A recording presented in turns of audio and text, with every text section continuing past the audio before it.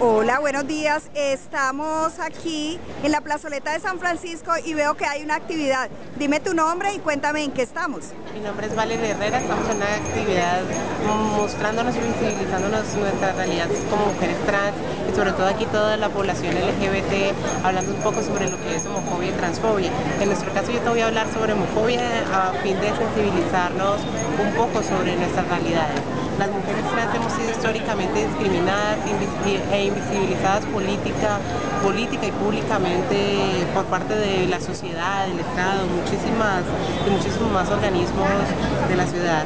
En este caso les estamos presentando las estrellas fucsia, que representan eh, que una mujer trans ha caído en esta ciudad.